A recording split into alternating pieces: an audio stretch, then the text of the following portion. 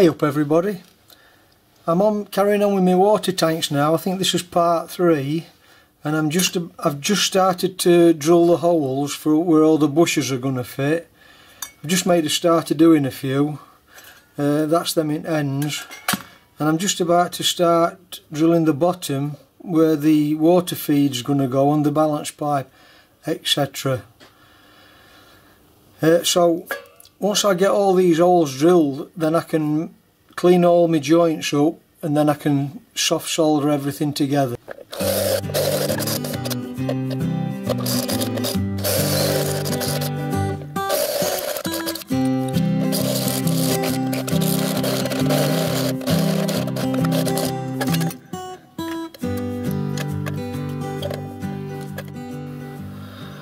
Right, so then for, for anybody that's not done any soldering before, you've got to make sure that all your all your jointing areas are thoroughly cleaned up and free from grease. Um, all your bushes have got to be cleaned up and free from grease and all the places inside where the bushes are going to come through so the solder will flow through.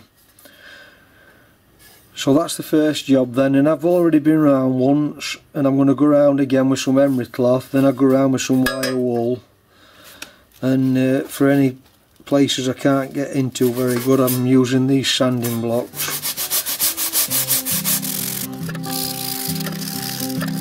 And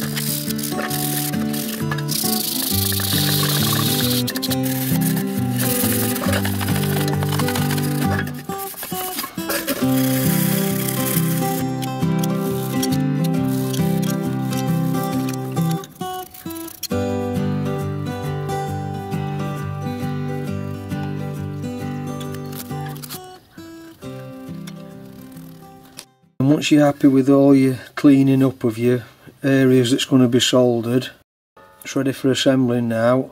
And while I'm assembling it, I'll use this non-acid based flux, general purpose, regular soldering flux.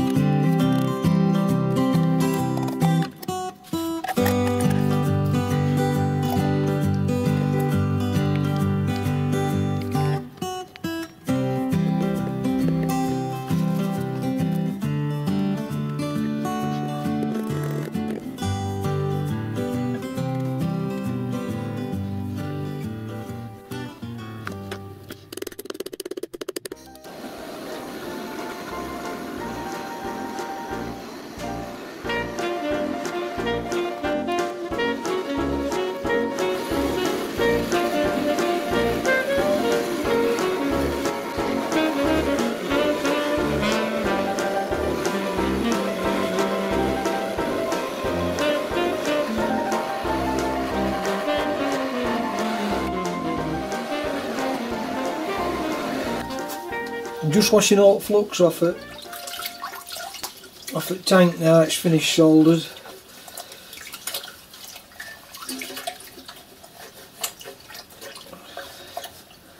then it's the moment of truth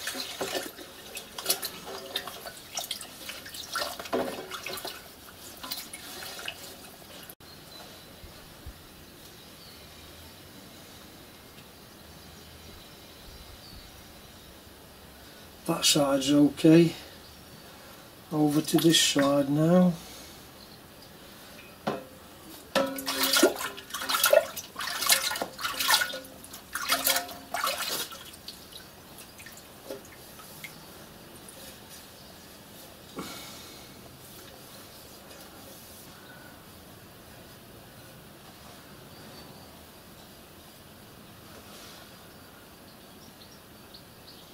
that's okay. That's it then.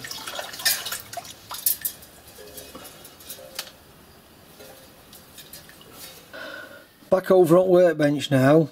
I've got my tanks cleaned up and I've had some watering and tried them both and they both seal okay so that's a bonus.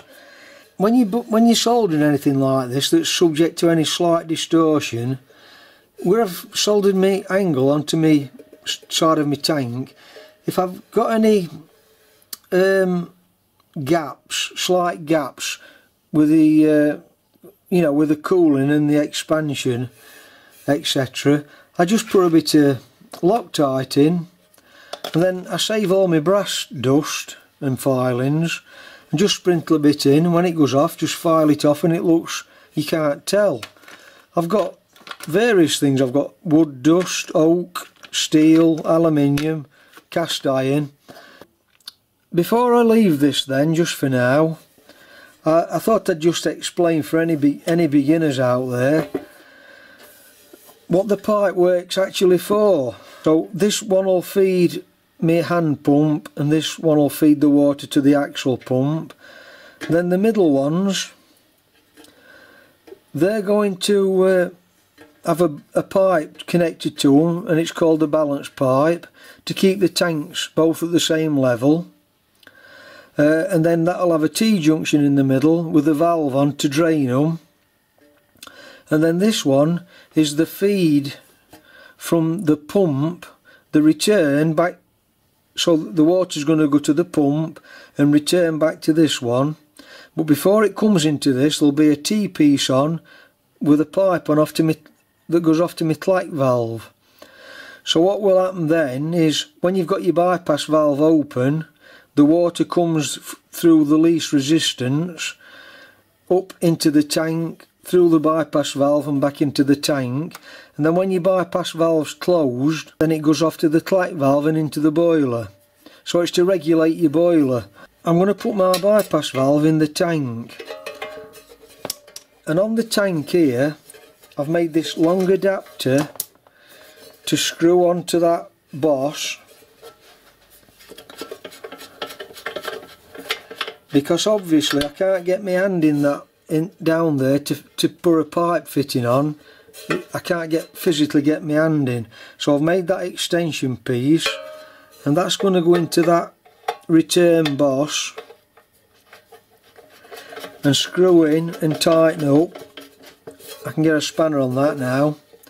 Then my pipe will come off that come to the bypass valve inlet and then return through that pipe and that'll be cut off so it, the water then returns into the tank and I'll be able to see it through my, my filler cap.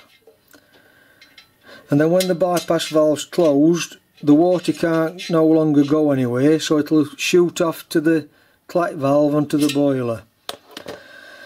And that, so that's that then. And then the other bosses which I put in they're just blind bosses for the fixing of the tanks to the cab and to the sides. To, and then these front two are for the handrails. Same again blind bosses and my handrails are going to fit in there. What I've got to do now then is just do the the tops cut them to size put a filler cap in and I think I'll do that on next video.